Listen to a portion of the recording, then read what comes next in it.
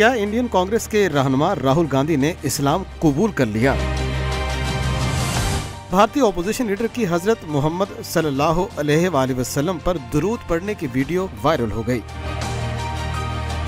भारत के opposition leader और कांग्रेस के रहनुमा राहुल गांधी ने लोकसभा से खिताब करते हुए पैगंबर इस्लाम हज़रत मोहम्मद मुस्तफ़ा सल्लल्लाहु अलैहि वसल्लम पर दुरूद पढ़कर मुसलमानों के दिल जीत लिए। हुजूर सल्लल्लाहु अलैहि वसल्लम पर दुरूद भेजते हुए राहुल गांधी ने कहा कि तमाम अजीम हस्तियों ने अदम तशद की बात की। खौफ को खत्म करने की बात की और कहा कि डर और खौफ के बुत तोड़ दो।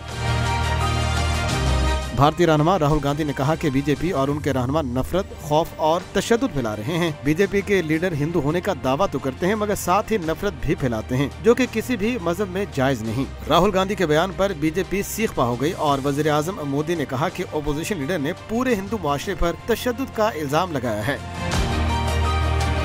भारतीय वजी आज़म नरेंद्र मोदी ने अपोजिशन लीडर राहुल गांधी से बयान पर मुआफी मांगने का मुतालबा किया। जवाब में राहुल गांधी ने कहा कि नरेंद्र मोदी और आरएसएस पूरा हिंदू समाज नहीं है। उन्होंने कहा कि बीजेपी हर वक्त खौफ फैलाते हुए तशद और नफरत को फरोग दे रही है, जिससे भारत समेत पूरे खत्े का अमन खराब हो सकता है।